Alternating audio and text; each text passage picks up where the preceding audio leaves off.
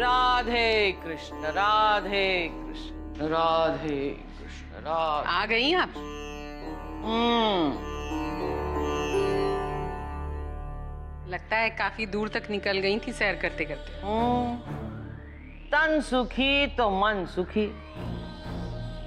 मन के सुख के लिए दूर तक चलना पड़ता है। इस सैर के बाद इतना आराम मिल रहा है इतना आराम मिल रहा है। आप बताए वैशाली जी। आप आराम से बैठिए पानी लाती हूँ आपके लिए। अरे नहीं नहीं नहीं। हमारी भूख प्यास सब शांत हुई गई है। आप कौनो तकलीफ़ ना करें। कैसी बात कर रही हैं अम्मा जी? आपके लिए कुछ करके तकलीफ़ थोड़ी होगी। अच्छा लगेगा बल्कि। मोको तो यहाँ आके ही इतनी खुशी मिल गई है। अब कौन अधिक सेवा पानी की ज़रूरत ना है। आप बस निश्चिंत होकर अपना काम कीजिए। कीजिए? अपना काम कीजिए कीजिए आप। कीजिए। हम्म। हमारी सेवा करने में तो को खुशी मिलेगी। और आज हम तोरे देव की सेवा का ऐसा इंतज़ाम किया है कि तुम लोगन से ज़िंदगी भर की खुशी छीन जाएगी राधिका राधिका हमसे हमारी विशाखा को दूर किए रही। उके हिस्से का सब कुछ छीन के अपना हिस्सा मान लिए रही। हम उ राधिका की ज़िंदगी में फिर कभी खुशी लौट के नहीं आने देंगी। कभी नहीं। मम्मी मेरे साथ खेलो ना। दीपू मुझे परेशान मत करो। चुपचाप ना वहाँ जाकर बैठ जाओ आप बहुत गंदी हो और आप मेरे साथ खेलती भी नहीं हो। राधिका मौसी तो मुझे बहुत प्यार करती थी। अब वो क्यों नहीं आती मम्मी? आप मुझे उनके पास ले चलो ना मम्मी।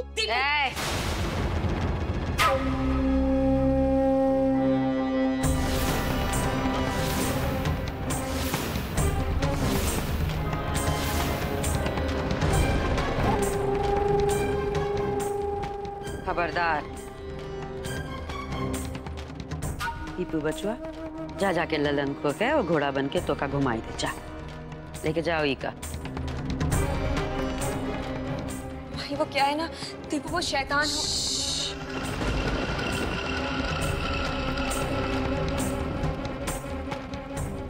क्या बात है माई तू अबे बाबू का साथ गंधर्व भी बाकी रही? उटीले वाला मंदिर में। हमरा घर का पंडित का साथ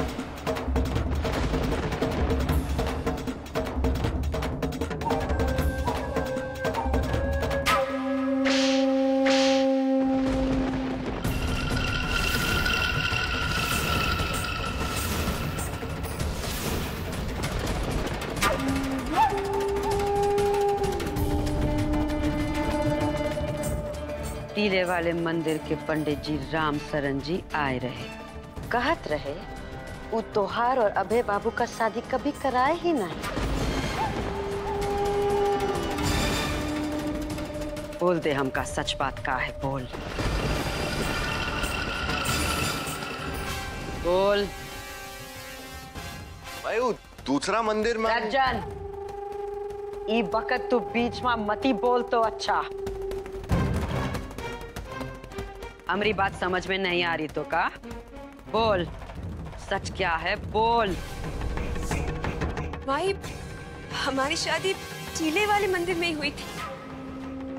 लेकिन यहाँ वाले मंदिर में नहीं, वो वो जो मथुरा रोड पर मंदिर है ना, वही हुई थी हमारी शादी। वो, यहाँ पर आपकी मर्ज़ी के बिना कुछ होता नहीं। और हमारे जो पंडित जी हैं वो भी आपकी मर्ज़ी के बगैर हमारी शादी कराने की हिम्मत नहीं करते। इसीलिए मैंने आपसे झूठ बोला।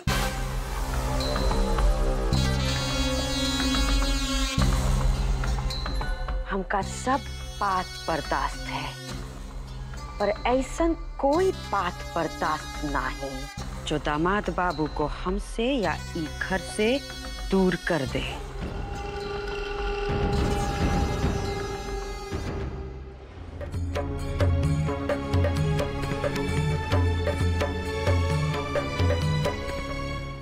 चाय तो लीजिए ना अम्मा जी। एक समोसा लीजिए। राधे राधे शास्त्री जी। अरे बाजी राधे राधे राधे समदिन जी। आप लोग कब आए? बस अभी तनिक समय हुआ माँ जी। अरे वैशाली आज तुमसे इतनी बड़ी गलती कैसे हो गई? क्या हुआ माँ जी? मुझसे क्या गलती हो गई? लो पूछ रही है कि क्या गलती कर दी अरे भाई, मैंने तुम्हें कहा था कि मेरे बटुए में ग्यारह हज़ार रुपए रखना। आरती में चढ़ाने थे और तुमने सिर्फ़ ग्यारह रुपए रखे। अरे समधिन जी, वैशाली जी को काहे बिना मतलब डांट रही हैं? वैशाली जी की का गलती है? अरे वो समय और था और ये समय और है।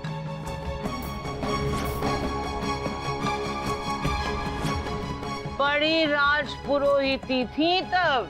हाँ हाँ माँ जी सही तो कह रही हैं अम्मा जी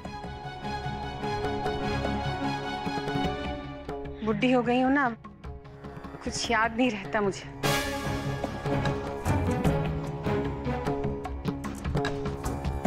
वैशाली जब तुम्हारी सास बुढ़ी नहीं हुई है तो तुम कहाँ से बूढ़ी हो जाओगी हाँ?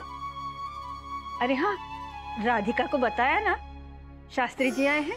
माँ जी छोटी बहू किसी काम से बाहर गई है। आती होगी वो। आप कीर्तन से लौट कर आई हैं थक गई होंगी ना? चलिए ना चलकर आराम कर लीजिए थोड़ी देर। हाँ वो तो है। वैसे आप लोग भी थक गए होंगे सफ़र से। आप भी आराम कर लीजिए। जी। माँ जी चाय भिजवा देती हूँ आपके लिए। हाँ। अम्मा आपको ये सब माँ जी के सम्मुख कहने की क्या आवश्यकता थी? हमने हमने का कह दिया लल्ला। ठीक है तो कह रहे हैं। तो हमें का पता था कि इतना समय हो गया और उसकी तबीयत ठीक ना हुई है। पाँच साल से आगरा में इलाज करवाए नहीं। कौन सुधार तो आवेगो कि ना आवेगो? शास्त्री जी आप परेशान मत होइए। अम्मा जी ठीक ही तो कह रही हैं। उन्हें क्या पता कि पिछले पाँच साल में माँ जी की हालत में कोई सुधार नहीं हुआ है?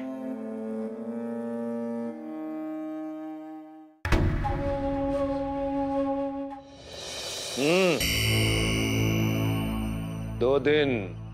दो दिन के अंदर पुरोहित सदन का सात सज्जा का काम पूरा हो जाना चाहिए। हम्म। और हाँ पुराने राज पुरोहित का जितना भी सामान है ना, सब घर से बाहर निकाल के फेंक दो। कहो बड़ी बहू?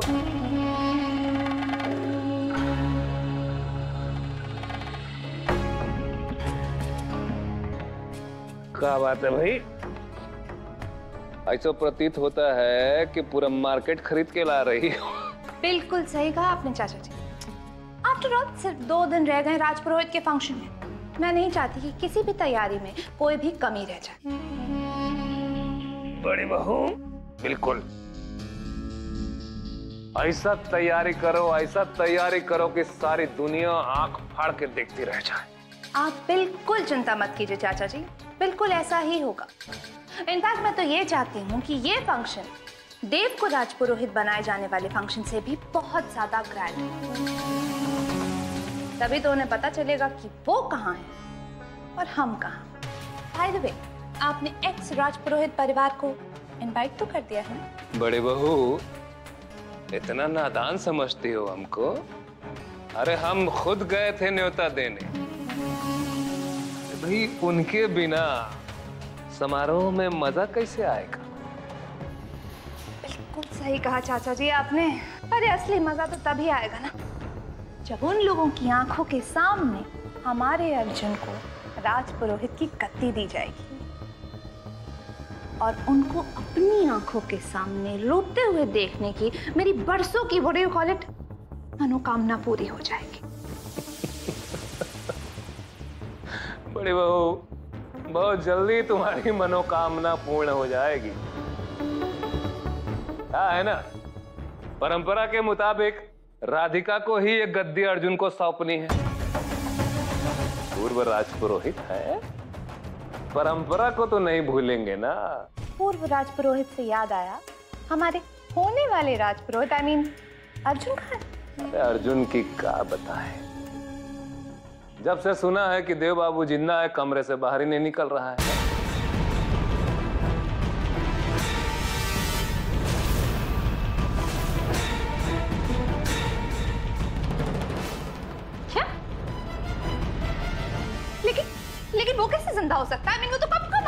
यार भाई अगर ज़िंदा भी है तो वो अर्जुन का काम बिगाड़ लेगा हाँ? बेवजह घबरा रहा है। राज पुरोहित बनने वाला है लेकिन बचपना नहीं गया इसका अभी तक। लेकिन अगर अर्जुन का डर सच साबित हो गया तो? तो उसकी चिंता तुम बिल्कुल मत करो। चंदनपुर में मेरे आदमी उसके राज तिलक का चंदन पीस रहे हैं। और अगर ज़रूरत पड़ी ना तो हम खुद जाएँगे देव बाबू की जान लेने के लिए, लेकिन इस बार अपने साथ वो अन्याय दोबारा नहीं होने देंगे। राजपुरोहित तो हमारा ही बेटा बनेगा और वो राधिका राधिका की ज़िंदगी बीत जाएगी, लेकिन देव बाबू को ज़िंदा नहीं ढूंढ पाएगी वो। बड़े बाबू, जीत हमारी होगी। बंसी बजैया हमारे साथ हैं, देखना तुम जीत हमारी ही होगी।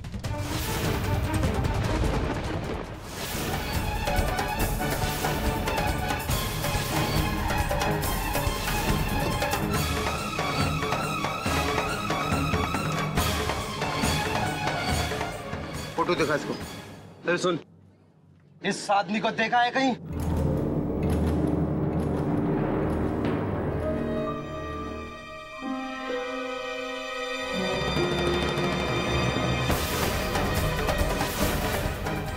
ये तो उनकी तस्वीर है। ध्यान से देख इसको। देव नाम है इसका देव। ये यहीं चंदनपुर में है। आते जाते देखा होगा तूने इसे। नहीं साहब हमने इनको कभी देखा ही नहीं। शंकर भाई इस साले का तो कुछ पता नहीं। अब क्या करेंगे? टेंशन मत ले। वैसे ये इतनी बड़ी जगह नहीं है जो हमारे हाथ से बच के निकल जाए। अगर जहाँ भी दिखे ठोक इस साले को।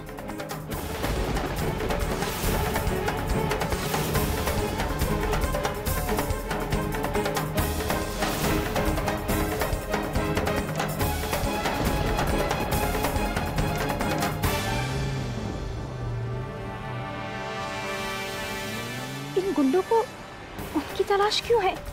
और यहाँ तो सब उन्हें अभय के नाम से जानते हैं। फिर इन गुंडों को उनका असली नाम कैसे पता है? कौन है ये लोग? और इनकी जान क्यों लेना चाहते हैं? काना मुझे कैसे भी इन लोगों से पहले उनको ढूंढना होगा? भाई साहब सुनिए आगरा से यहाँ कुछ लोग आए हैं होटल बनवाने के लिए। आप जानते हैं कहाँ होंगे? जी बहन जी हम सुबह ही देखे थे। कहा बड़ी बड़ी गाड़ियों में शहर से कुछ लोग आए थे। कोनो जगह देखने के वास्ते। जी भाई साहब शायद वही होंगे। आप मुझे बता सकते हैं वो अभी कहाँ होंगे? एक काम कीजिए आप अपनी नाक से ना सीधे चले जाइए। दस पंद्रह मिनट तक चलने के बाद में एक बड़ा सा जंगल आएगा। वहाँ बड़ा सा जमघट लगा होगा। समझ लीजिए कि वही लोग हैं। जी बहुत बहुत धन्यवाद।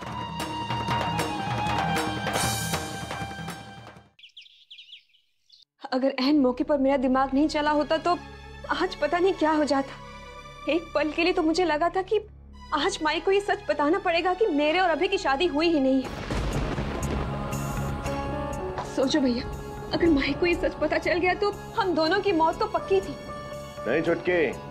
हमरे रहते हुए ये कभी नहीं हो सकता था। नहीं भैया हमें इस बात से सीख लेके अपना हर एक कदम सोच समझ कर उठाना पड़ेगा।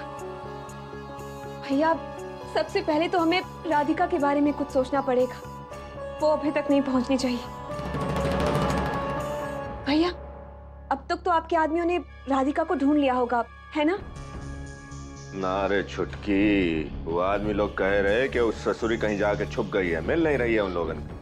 भैया आज तो मैंने माई को झूठ बोलकर यकीन दिला दिया है। लेकिन अगर राधिका अभय की यादाश्त वापस ले आई तो हमें माई के कहर से कोई नहीं बचा पाएगा। तू फ़िक्र मत कर छुटकी।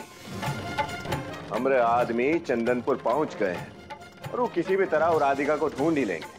और उसके बाद उनका क्या करना है उनको बहुत अच्छी तरह से मालूम है। हमरे रहते हुए वो राधिका अभय बाबू तक कभी नहीं पहुँच पाएगी। कभी नहीं।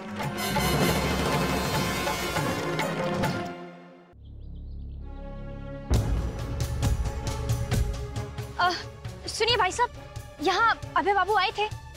बहन जी हम भी उन्हीं को ढूंढ रहे हैं यहाँ पर। अभी कुछ देर पहले यहाँ पे कुछ लोग आए थे। तो उनके साथ पता नहीं कहाँ चला गया वो। और वो इतनी जल्दी में थे उन्होंने कुछ बताया भी नहीं। क्या? अभी तो काम भी खत्म नहीं हुआ है और उन्हें भी दूसरी साइड पर जाना है काम देखने के लिए। भाई साहब आप जानते हैं वो लोग कौन थे? पता नहीं कौन थे लेकिन बहुत हड़बड़ी में थे वो। अच्छा आप ये तो जानते हैं कि वो किस तरफ़ गए हैं? उस तरफ़ गए। उस तरफ़? जी धन्यवाद। सुधा जी आप हमारा फ़ोन काहे नहीं उठाती हैं? कितना फ़ोन करते हैं हम आपको? वैसे वो दिन लाल साड़ी में बहुत अच्छी लग रही थी कब मिल रही? भैया राधिका को कुछ पता चला? हम आपको ना थोड़ी देर बाद फ़ोन करते हैं। छुटकी हम तो से कह दिए हैं हमरा आदमी का पीछे लगे हुए हैं उका ढूंढ लेंगे काहे परेशान हो रही है और हमका परेशान कर रही है बार बार लेकिन कब भैया? जब सब कुछ खत्म हो जाएगा या फिर तब जब राधिका अभय को ये याद दिला देगी कि वो मेरा नहीं उसका पति है। क्यों भैया? आपके आदमी एक एक लड़की नहीं ढूंढ सकते। भैया कहीं ऐसा तो नहीं कि आपने माई के डर से अपना हाथ पीछे खींच लिया और मुझसे झूठ बोल रहे हो? ए छुटकी देख तू ये बिल्कुल सही बात नहीं कर रही। है हमरे ऊपर एकदम से झूठा इल्ज़ाम लगा रही है तू। तो मैं क्या करूँ भैया? आप भी जो कर रहे हैं मुझे कुछ समझ में नहीं आ रहा। चंदनपुर में आप राधिका का पता नहीं लगा सकते। एक बात याद रखिएगा कि अगर आपने इस बार मेरी मदद नहीं की तो मैं माई को सब कुछ सच सच बता दूँ। बता दूँगी उन्हें कि मुझे आपकी वजह से अभय को अपना झूठा पति बनाकर इस घर में लाना पड़ा। क्योंकि आपने मेरे होने वाले असली पति का खून कर दिया था।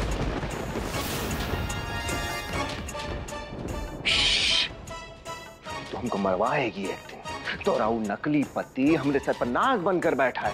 फिर भी हम तोरा मदद करने में लगे हैं। तोरी खातिर लोन जाके फ़ाइल। अब माने छुड़वा दिए तो हम कहा करें, बता। देख छुटकी तू निश्चिंत रहे। हमारा आदमी लगा हुआ है उसको ढूँढने मौका मिलते अपना काम कर देंगे। तू हम पर भरोसा रख पाए